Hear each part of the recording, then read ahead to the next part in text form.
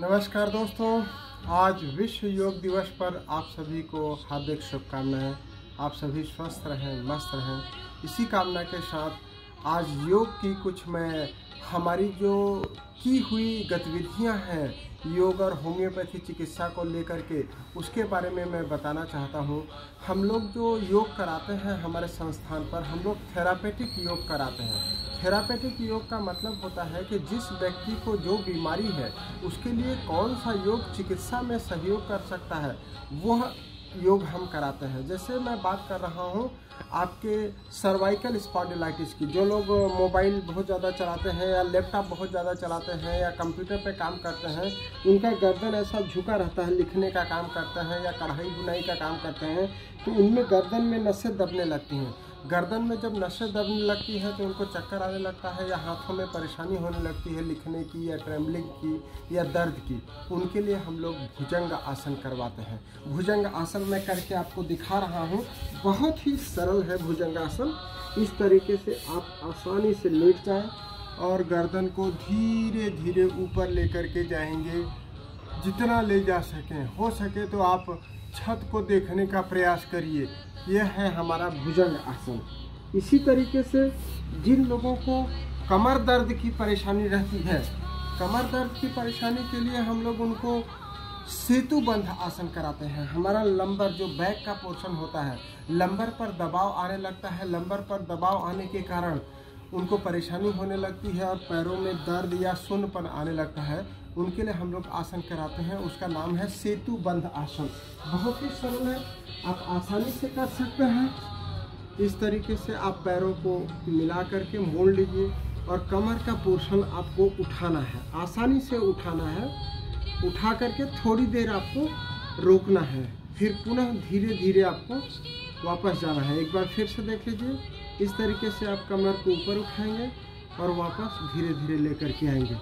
इसी तरीके से एक दूसरी परेशानी होती है लोगों को वेरिकोज वेन वेरिकोज वेन के काफ़ी सारे पेशेंट आते हैं, जिनमें महिलाएँ भी हैं और पुरुष भी हैं। अगर वो लोग सर्वांगासन करें, यह अर्ध सर्वांगासन है, जिससे पूरा सर्वांगासन नहीं हो सकता है, वो अर्ध सर्वांगासन भी कर सकता है। इससे काफ़ी राहत मिल जाती है। इसी तरीके से हम लोगों को शवासन कराते हैं। ध्यान कराते हैं, प्राणायाम कराते हैं। ऐसे लोग जिनको याददाश्त की परेशानी रहती है, अनिद्रा की परेशानी रहती है, उनको हम शवासन के साथ साथ ध्यान और प्राणायाम कराते हैं। दोस्तों, मैंने 20 वर्ष से अधिक का समय जो हो गया मेरा चिकित्सकीय समय, उसमें होम्योपैथिक दवाइयों के साथ साथ योग, प्राणायाम, ध्यान नियमित रूप से मरीजों को कराते रहा हूँ और मैंने पाया कि उनको बहुत लाभ हुआ है। यह समन्वय चिकित्सा है। जिस तरीके से योग का कोई साइड इफ़ेक्ट नहीं होता है, उसी तरीके से होम्योपैथी का भी कोई साइड इफ़ेक्ट नहीं होता है।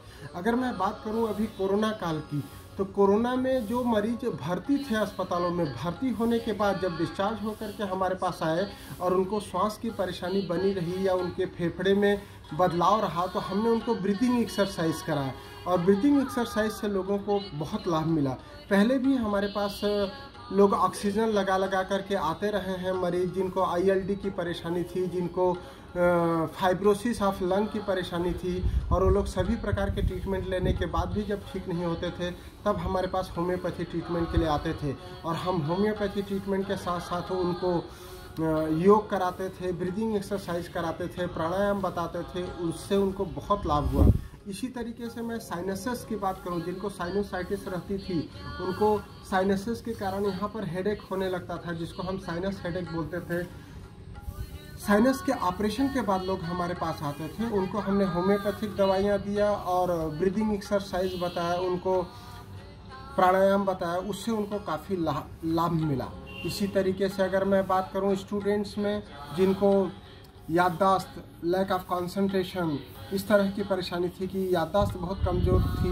पेरेंट्स लेकर के आते थे कि ये कुछ भी पढ़ता है, याद नहीं रहता है।